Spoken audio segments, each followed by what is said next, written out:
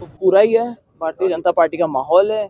आज जनसभा भी होगी, मुख्यमंत्री जी उसमें आएँगे और हमें वहाँ पे ज़्यादा बातचीत करने का सब लोगों को मौका मिलेगा। लेकिन इसमें कोई दो राय नहीं है कि जब से टिकट की घोषणा हुई, उसके बाद में जगह जगह जाके हमने कार्यकर्ता सम्मेलन करे, जनसभाएँ करी है।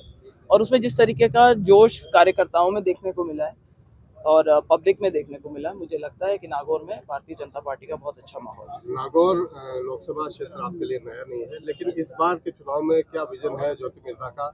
पार्टी नहीं है, लेकिन क्या विजन वही पुराना है?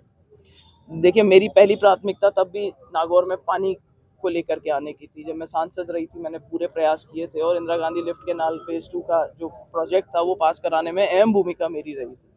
आज हमारी प्राथमिकता रहेगी कि घर घर जो जल जीवन मिशन है, उसके तहत घर घर टूटी लग सके, लोगों को जो पानी की सुविधा है, वो हो सके।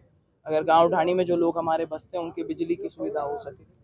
हमारे जो युवा साथी हैं, उनके रोज़गार की बात कर सकें, अगर हमारी महिलाएँ हैं तो उनकी सुरक्षा की बात कर सकें। अगर सरकार राजस्थान में और दिल्ली में हमारी होती है तो कई सारी चीज़ें जो है जनप्रतिनिधि के लिए बहुत आसान हो जाती है। एक, अगर आपको एक जिसको कहना चाहिए इफ़ेक्टिव वकील अगर मिलता है तो बहुत से ऐसे प्रोजेक्ट्स हैं, बड़े प्रोजेक्ट्स विकास कार्य हो, चाहे अपने लोगों की बात हो रखने का पॉलिसी मेकिंग के अंदर, वो अपना काम करवा सकते हैं। आप दोनों तीसरी बार चुनाव मैदान में आरएलपी के प्रत्याशी पार्टी इस बार आप दोनों ने बदल ली क्या मानते हैं, कितने इक्वेशन बदलेंगे?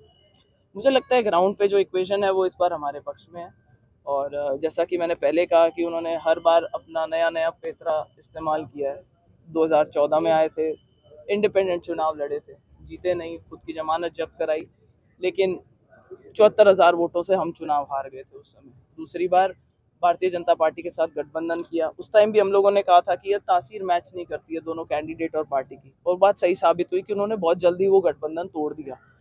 मुझे लगता है कि आज तीसरी बार अगर ये मौका आ रहा है और अगर उन्होंने इस बार गठबंधन कांग्रेस पार्टी के साथ करा है तो मुझे नहीं लगता कि काट की आंधी बार बार चढ़ेगी पब्लिक समझ चुकी है और इसका फ़ायदा भारतीय जनता पार्टी को मिलेगा। मुझे पूरा विश्वास है कि यहाँ की जनता अच्छा मत और समर्थन देकर के ये सीट जो है बीजेपी के खाते में लेके जाएगी।